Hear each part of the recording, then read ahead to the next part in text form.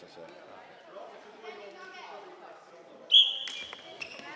we can kan gå efter Kina.